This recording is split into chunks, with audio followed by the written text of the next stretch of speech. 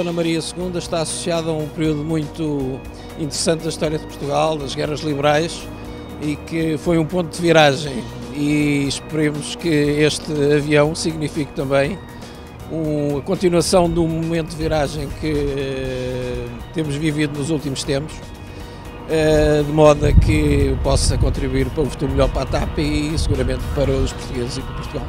Começa com uma grande intervenção de, manutenção por parte do, do último utilizador e envolve todo o processo de uma equipa deslocada para ter a certeza e garantir que esta aeronave entra nas melhores condições da nossa frota. Há um processo de, de inspeção, eh, uma grande intervenção no avião, uma inspeção C,